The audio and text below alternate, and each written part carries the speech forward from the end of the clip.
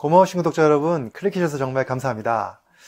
연관통에 대해서 오늘 말씀을 좀 드리려고 하는데요. 영어로는 referred pain이라고 얘기합니다. 사실 이런 환자가 있었다고 그래요. 우측 어깨가 아파가지고 정형외과 찾아갔습니다. 어깨가 아프니까 당연히 정형외과 찾아갔겠죠. 그런데 검사해봐도 특별한 이유가 없고 또 아픈 양상이 약간 근골격계 통증기를 좀 다르다라는 거죠. 그래서 이것들을 검사하기 위해서 좀 더 정밀 검사하다 보니까 밝혀진 것이 바로 간암이었다는 거죠.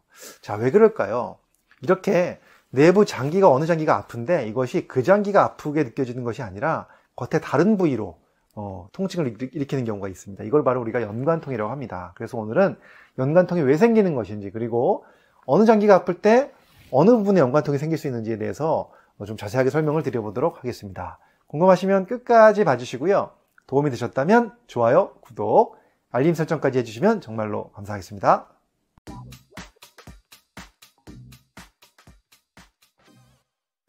안녕하세요. 교육을 전공한 교육하는 의사 가정의학과 전문 이동환입니다. 연관통 많이 들어보셨을 것 같은데요. 사실 연관통은요, 우리 뇌가 일종의 착각해서 일으키는 통증이라고 알려져 있습니다. 그래서 이 내장기관의 감각 정보가 신체 표면의 다른 부위의 그 통증 정보로 인식이 되는 경우를 얘기하는데요. 그렇게 생기는 이유가 바로 뭐냐면 내장의 그 감각 정보가 뇌로 전달되는 과정에서요. 다른 부위의 감각 신경의 정보와 합해지면서 올라가거든요. 뇌로 올라갈 때 합해지는 과정에서 이 뇌가요. 이 통증 정보가 이 내장기관에서 온 것이 아니라 신체의 다른 표면 부위에서 들어온 정보로 잘못 해석을 하는 거죠.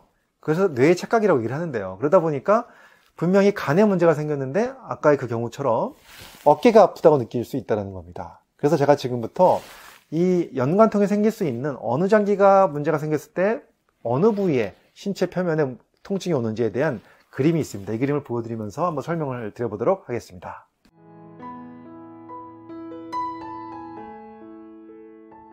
자, 이 그림 보시면요. 굉장히 다양하게 연관통이 나오는데요. 일단 적색으로 표현된 부분, 바로 심장을 한번 보시면요. 사실 가슴이, 심장이 이렇게 아프게 되면 왼쪽, 가슴과 함께 왼쪽 목덜미, 어깨까지 아플 수 있고요. 그 다음에 지금 팔로 내려가죠. 왼쪽 팔, 새끼손가락 쪽으로 쭉 통증이 올 수 있습니다. 그래서 아주 좀 드물긴 하지만 식문경색증이 생겼을 때 이렇게 손가락까지 아픈 경우를 느낄 수가 있고요. 또 이와 함께 이 그림에는 안 나오지만 이 명치 쪽이 아픈 분들도 있거든요. 그래서 명치 쪽이 많이 아프고 소화가 안 되는 느낌으로 심근경색증의 증상이 나타날 수 있다는 사실도 아셨으면 좋을 것 같고요. 그 다음에 주황색으로 표시된 부분이 바로 폐 또는 횡경막에 문제가 생겼을 때 나타나는 부위인데요. 목덜미가 아프죠. 어, 목덜미가 저렇게 뒷목하고 왼쪽 목덜미까지 올라가는데요. 통증이 이런 경우에 폐에 문제가 있는 경우도 있습니다. 그래서 이런 경우가 어, 폐암 같은 게 생겨서도 이렇게 목덜미가 아플 수 있다는 사실도 좀 알고 계시면 좋을 것 같고요. 그 다음에 지금 청록색인가요? 청록색을 표시된 부분이 바로 간과 담낭입니다. 아까 말씀드렸던 사례랑 똑같이 간에 문제가 생겼는데 오른쪽 어깨 예, 그리고 등 쪽 이런 쪽이 아파서 이렇게 나타날 수 있고요. 그 다음에 옆구리가 또 아플 수 있죠. 그래서 간이 있는 부위가 옆구리 쪽이겠죠. 오른쪽 갈비뼈 아래쪽에 있기 때문에 그쪽 통증도 있을 수 있지만 이렇게 또 어깨 쪽으로 통증이 없을 수 있다는 거 아셨으면 좋겠고요.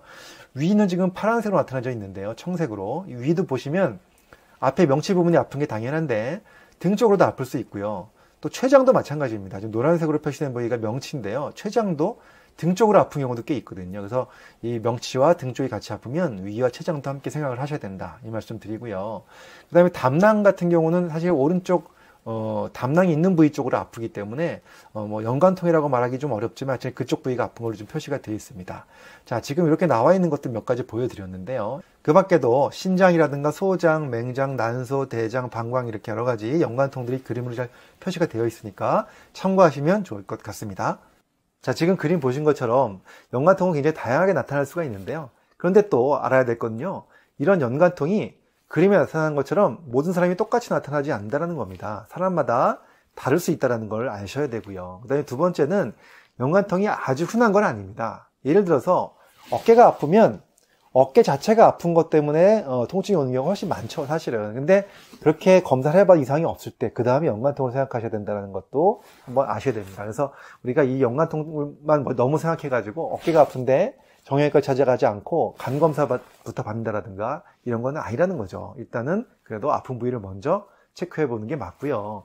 근데 그럼에도 불구하고 도 주의할 점이 있습니다. 바로 뭐냐면 심장과 관련된 연관통이죠. 특히나 가장 무서운 병이 심근경색증이잖아요. 급사할 수 있는 병. 이런 경우는 사실은 심장 때문에 아까 그림에서 보여드린 것처럼 이렇게 가슴 통증으로 어깨로 올 수도 있고 손가락으로 갈 수도 있잖아요. 이런 통증이 왔을 때 이것을 빨리 확인하기 위해서 응급실을 찾아가서 심장 검사를 해봐야 될 필요도 있다는 겁니다. 그래서 심관 관련된 연관통은 좀 더 자세하게 우리가 어, 알고 계시면 어, 훨씬 더 그런 것들을 예방하기 위해서 도움이 될 것 같습니다. 그리고 또 근골격계 통증과 내부 장기에 의한 연관통은 좀 다르게 느껴질 수 있죠. 근골격계 통증은 사실은 어, 가만히 있으면 안 아프다가도 움직일 때마다 그 부위가 아픈다든가 그러면 이것은 겉에 어떠한 뼈나 근육 쪽의 문제를 볼 수가 있는데 연관통은 사실은 그렇게 상관없이 꾸준하게 아플 수 있기 때문에 이런 걸로 좀 구분을 할 수도 있습니다. 아무튼 오늘 제가 이렇게 연관통에 대한 말씀을 드렸는데요. 한 번쯤 우리가 꼭 알아, 알고 있어야 될 내용이라고 생각을 해서 말씀을 드렸고요. 연관통 잘 한번 생각해 보시고 통증 같은 거 있을 때 빨리빨리 그 원인 찾으셔서 잘 관리하셔서 여러분들 건강한 생활 되셨으면 좋겠습니다. 감사합니다.